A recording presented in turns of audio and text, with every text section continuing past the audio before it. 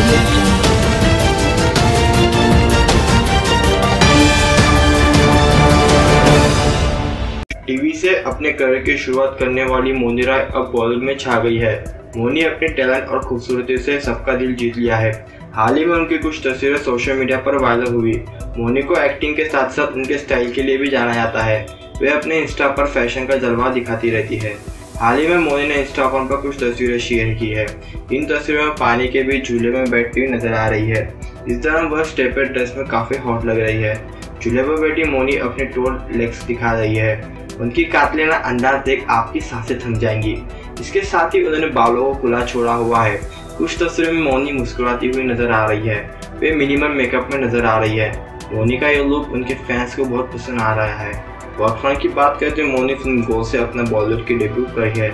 इस फिल्म में उनको अक्षय कुमार की पत्नी का निर्वाह निभाया था पी एम न्यूज़ ट्वेंटी की रिपोर्ट